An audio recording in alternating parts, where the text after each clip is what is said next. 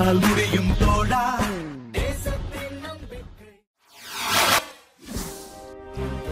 தருமபுரியில் பெரியாரின் நூற்று நாற்பத்தி ஓராவது பிறந்த நாளை முன்னிட்டு சிலைக்கு மாலை அணிவித்து மரியாதை. பகுத்தறிவு தந்தை பெரியாரின் நூற்று நாற்பத்தி ஓராவது பிறந்த நாளை முன்னிட்டு தருமபுரியில் உள்ள பெரியார் சிலைக்கு உயர்கல்வித்துறை அமைச்சர் கே பி அன்பழகன் மாலை அணிவித்து மரியாதை செலுத்தினார்.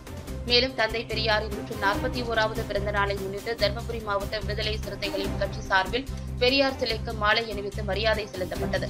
இந்த நிகழ்ச்சியில் தருமபுரி மேற்கு மாவட்ட செயலாளர் ஜெயந்தி செய்தி தொடர்பாளர் தாக்கு பாண்டியன் மன்னன் மின்னல் சக்தி ராமன் அம்பேத் வளவன் மற்றும் மாநில மாவட்ட பொறுப்பாளர்கள் முகாம் உறுப்பினர்கள் கலந்து கொண்டனர். மேலும் பகுத்தறிவு தந்தை பெரியார் சிலைக்கு தீக கட்சியினர் மாலை அணிவித்து மரியாதை செலுத்திய பிறகு தீக விடுதலை சிறுத்தைகள் மதிமுக உள்ளிட்ட கட்சியின் சார்பில் ஊர்வலமாக தந்தை பெரியார் மன்றத்திலிருந்து கடைவீதி பிஎஸ்என்எல் அலுவலகம் பேருந்து நிலையம் வழியாக நான்கு ரோட்டில் உள்ள அண்ணா சிலை வரை பேரணியாக சென்றனர்.